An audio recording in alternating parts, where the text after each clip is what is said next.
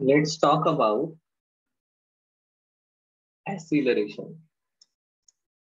अभी तक हमने distance displacement speed and velocity देखी है।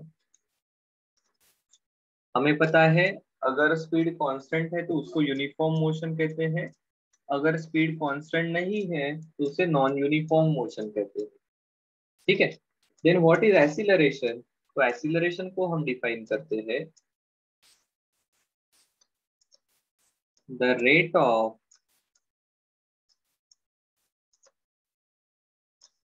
change of velocity is called as acceleration.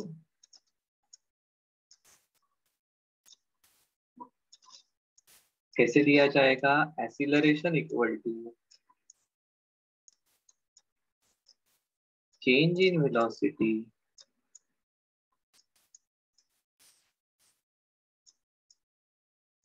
upon time taken और फिर हम कहेंगे acceleration equal to final velocity minus initial velocity upon time taken v क्या है? फाइनल वेलोसिटी u क्या होती है? इनिशियल वेलोसिटी ठीक है? अब वेलोसिटी एक वेक्टर क्वांटिटी होने के कारण acceleration is also vector quantity और यूनिट रहेगा, देखो वेलोसिटी का यूनिट रहता है मीटर पर second divided by second so इसका यूनिट आ जाएगा मीटर पर सेकंड स्क्वायर। अब देखो फॉर्मूले से आपको ध्यान में आएगा। Acceleration equal to v minus u by t ये पॉजिटिव रहेगा। अगर final velocity is more that is speed increases.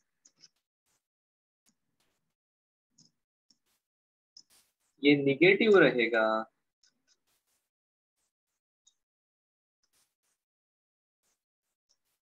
if initial velocity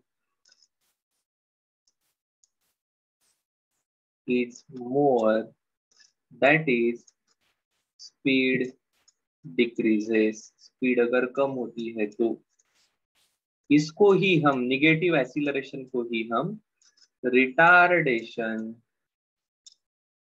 या डिसिलरेशन कहते हैं। एक्चुअली है एसिलरेशन ही, सिर्फ़ वैल्यू निगेटिव आती है, इसलिए उसको डिसिलरेशन कहा जाता है।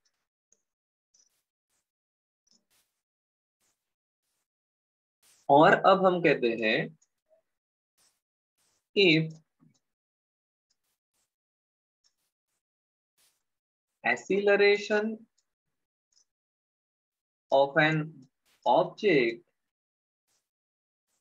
is constant अगर एसिलरेशन इज़ कॉन्स्टेंट है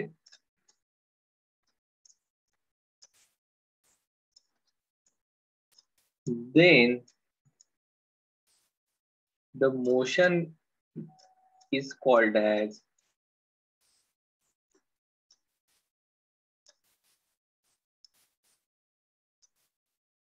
uniformly accelerated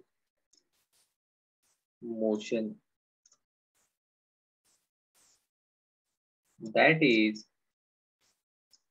if velocity of an object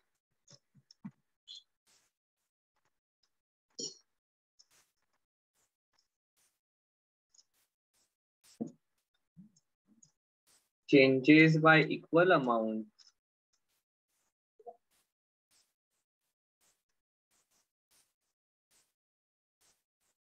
in equal interval of time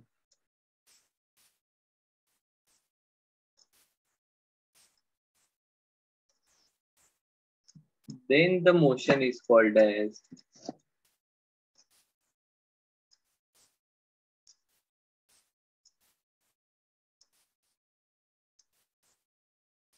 uniformly accelerated motion ये इसकी खासियत है acceleration that is v minus u upon t जिसको कभी कभी delta v upon delta t change in velocity upon time देकर ये constant आएगा।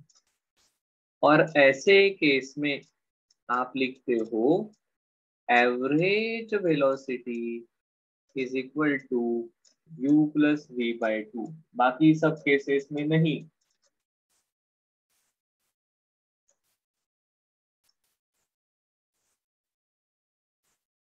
ऐसा आप सिर्फ़ तब लिख पाओगे अगर अपनी मोशन यूनिफॉर्मली एसिलरेटेड मोशन है तब। अदरवाइज़ इस रिलेशन को हम यूज़ नहीं कर पाएँगे। और शायद से आपको एक चीज़ अब याद आएगी, ऐसे केस में आप दे सकते हो displacement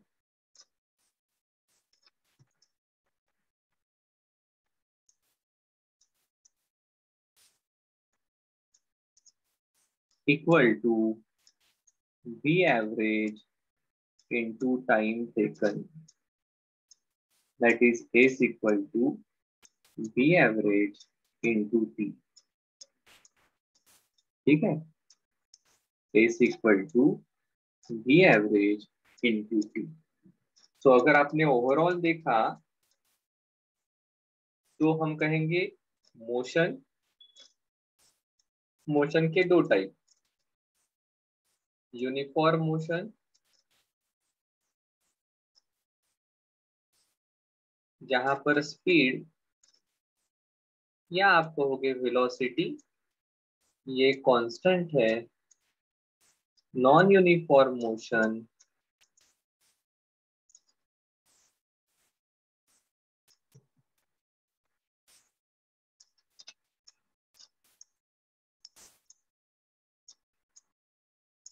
स्पीड या वेलोसिटी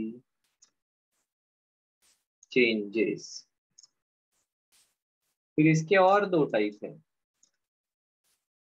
इसका मतलब इसको वेलोसिटी चेंज हो रही है मतलब यहाँ पर एक्सीलरेशन है। इसके दो टाइप है। Uniformly accelerated motion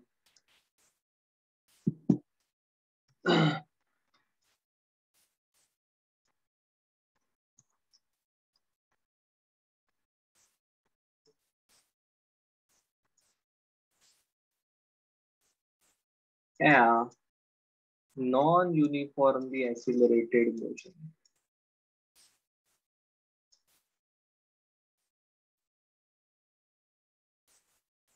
और यहाँ पर आप कहोगे यूनिफॉर्मली एसिलरेटेड मोशन में एसिलरेशन ये कांस्टेंट रहेगा। और यहाँ पर acceleration is not a constant क्या सही है क्या? हाँ सर, बिल्कुल सही है।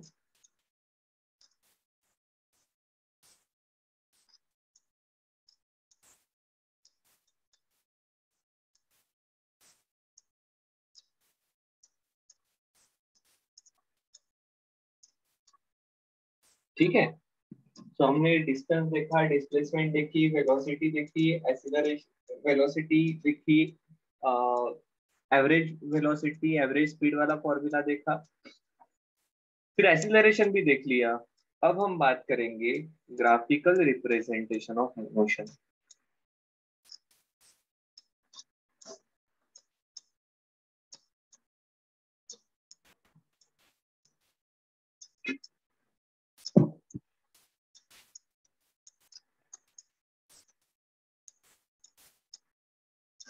तो देखो बेसिकली ग्राफिकल रिप्रेजेंटेशन मतलब क्या है? आप ग्राफ प्लॉट करोगे। ग्राफ में दो एक्सिस रहेंगे। तो जैसे पहले पार्ट में कहा था, हम जनरली इंटरेस्टेड रहते हैं, कितने समय में कितना। कौन से मोमेंट पर हमारा ऑब्जेक्ट हमारा पार्टिकल कहाँ पर है? इसलिए हमारा पहला ग्राफ आएगा distance and time graph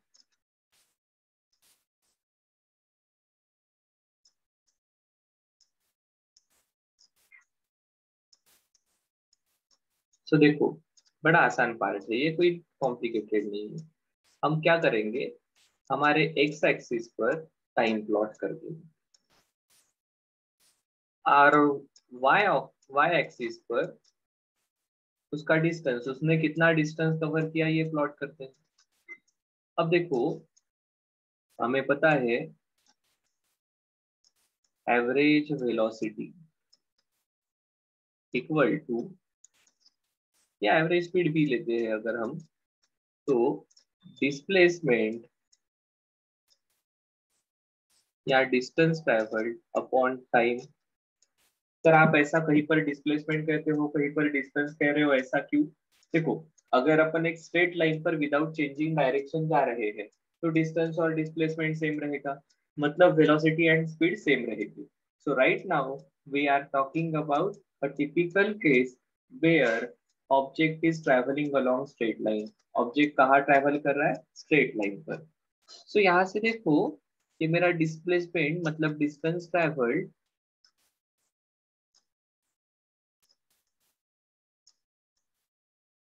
is equal to average velocity into time आएगी अब देखो एक आता ऑब्जेक्ट जो यूनिफॉर्म मोशन परफॉर्म कर रहा है क्या v कांस्टेंट है?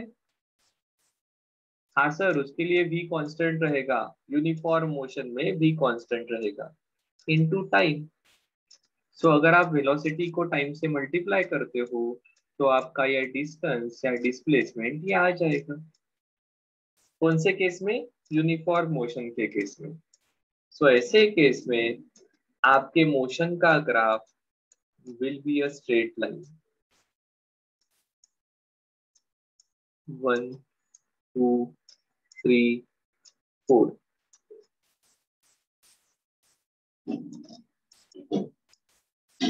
So देखो।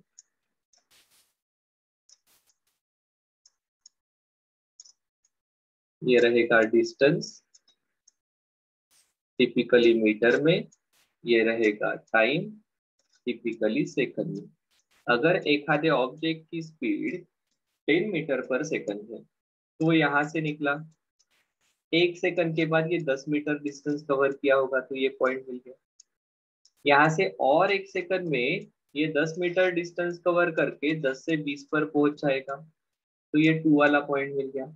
यहाँ से और एक सेकंड के बाद ये आगे यहाँ पर आ जाएगा और और 10 मीटर डिस्टेंस ट्रेवल किया होगा यहाँ पर आ जाएगा। सो so, इस प्रकार से in uniform motion distance time graph will be a straight line अगर एखादी एसिलरेटेड मोशन है एसिलरेटेड मोशन मतलब क्या? सर एसिलरेटेड मोशन मतलब जहाँ पर वेलोसिटी चेंज होती है। मतलब नॉन यूनिफॉर्म मोशन क्या? हाँ सर, बिल्कुल सही है। मतलब नॉन यूनिफॉर्म मोशन अब उस मोशन में देखो क्या होगा।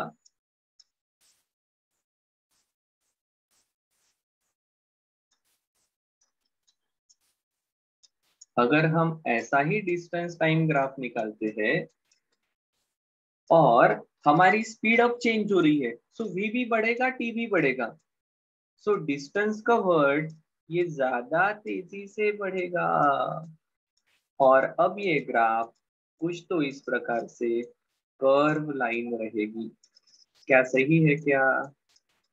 क्योंकि डिस्टेंस भी बढ़ वेलोसिटी भी बढ़ रही है और टाइम भी तो चेंज हो रहा है कंटिन्यूसली क्या सही है? तो ये ग्राफ रहेगा नॉन यूनिफॉर्म मोशन का।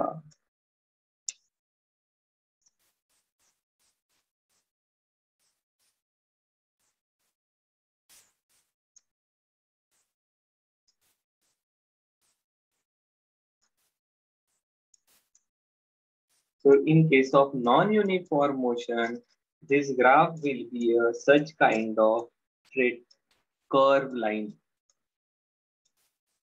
कि शुरुआत में स्पीड कम थी तो उतने समय में कम डिस्टेंस कवर हो रहा था फिर स्पीड बढ़ गई उतने ही समय में ज़्यादा डिस्टेंस कवर हो रहा है। अब ऐसा ही ग्राफ हम प्लॉट कर सकते हैं वेलोसिटी टाइम का।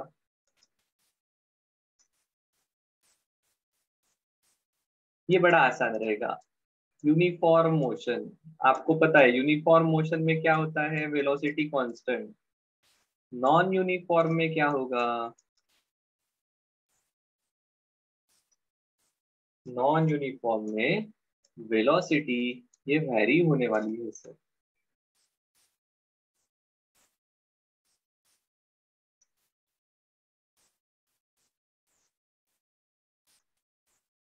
पर आपने यहाँ पर तीन क्यों निकाले? जानबूझकर मैंने तीन निकाले। देखते हैं क्यों।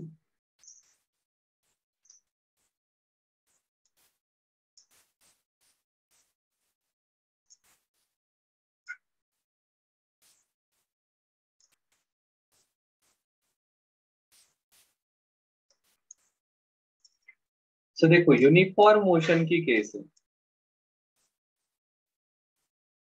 यूनिफॉर्म मोशन में वेलोसिटी कांस्टेंट। ये वेलोसिटी है, यहाँ पर रहेगी मीटर पर सेकंड में।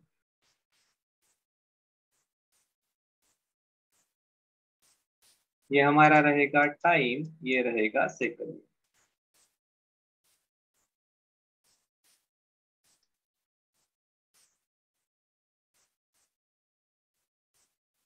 ठीक है? अब वेलोसिटी कांस्टेंट।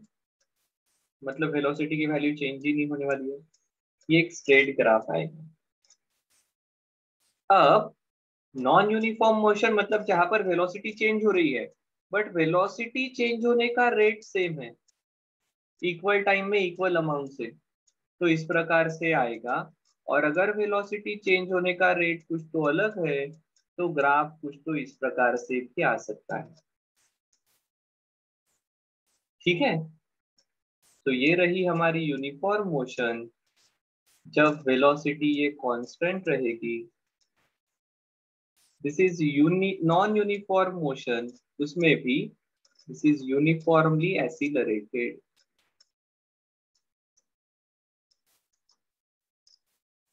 acceleration constant है. वेलोसिटी चेंज होने का रेट फिक्स है. And this is non uniformly accelerated जहाँ पर वेलोसिटी चेंज होने का रेट कांस्टेंट नहीं है, ये कम ज़्यादा हो सकता है, ये बदल सकता है। आया क्या ध्यान में?